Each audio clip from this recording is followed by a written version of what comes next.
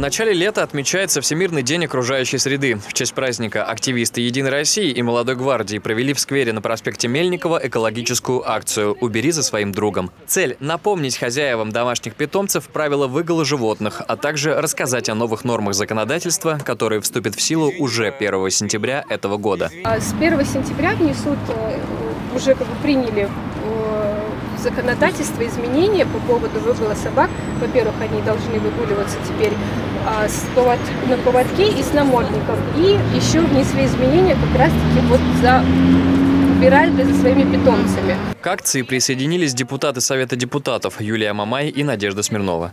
Нам всем очень важно, чтобы наш город был чистый. И для этого нам не только нужно его хорошо убирать, но и поддерживать эту чистоту. Убраться за своим питомцем – это обязанность каждого хозяина. У меня тоже есть собака, и я придерживаюсь этих правил. Все владельцы питомцев, которых встречали организаторы акции на своем пути, получили информационные листовки и биоразлагаемые пакеты для животных.